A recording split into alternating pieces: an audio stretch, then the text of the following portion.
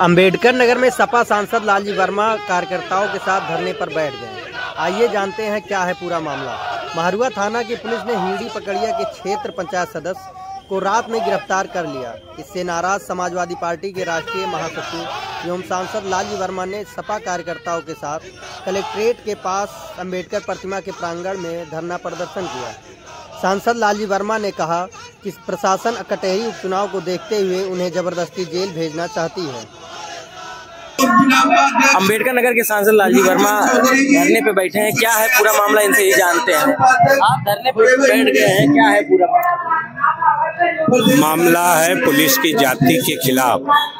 जिस तरह पुलिस विशेष रूप से कटहरी में भारतीय जनता पार्टी के इशारे पर समाजवादी पार्टी के कार्यकर्ताओं के खिलाफ एक तरफा कार्रवाई करके उनका उत्पीड़न करने का काम कर रही है। उसके विरोध में जो ताज़ा मामला है हेड़ी पकड़िया के हमारे बीडीसी सदस्य श्री राजेश गुप्ता जी को रात में साढ़े नौ बजे गिरफ़्तार किया जाता है और एक बजे उनको जेल भेज दिया जाता है। जबकि वो हृदय रोग से पीड़ित है। और हृदय रोग के बीमार आदमी को निश्चित रूप से उसको राहत दिया जाना चाहिए था। और उनका कोई विवाद भी नहीं था। जो एफआईआर दर्ज हुई थी, उसमें गिरफ्तारी का कोई व्यवस्था नहीं थी।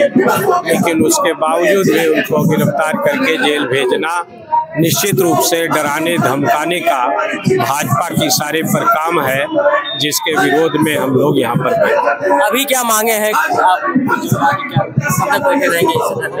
नहीं ये तो सांकेतिक एक दिन का कार्यक्रम है।